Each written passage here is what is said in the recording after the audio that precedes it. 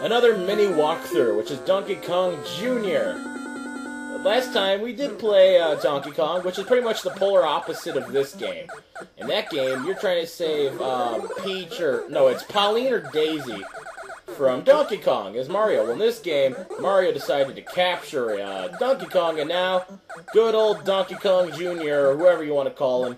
Well, he decides, hey, I'm gonna save Daddy. I'm gonna save Daddy through four perilous levels. Pretty much. There's only four levels, I think.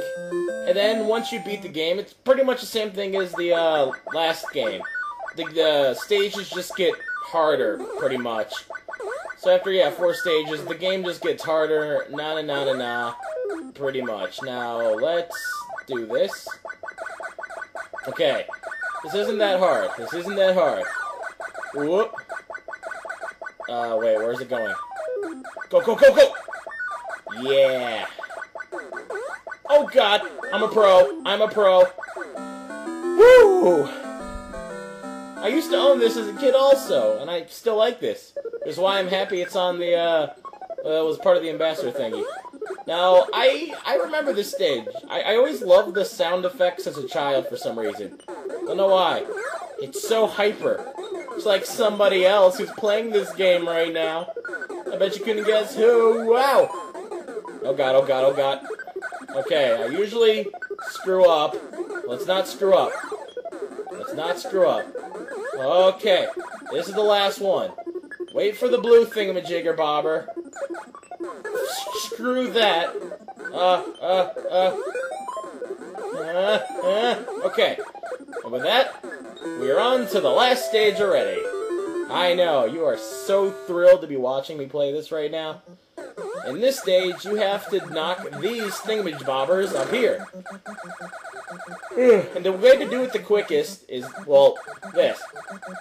And then to go back down, you do this. I am helping you beat this game, because you need help to beat this game. Some of you might actually need some pro tips from me. Well, you're getting it. Rebecca, I mean, nothing. And with that, we avoid everything, and we don't get killed. Haha! That's it. I don't think we died once, did we? And with that, Donkey Kong falls on the top of Donkey Kong Jr.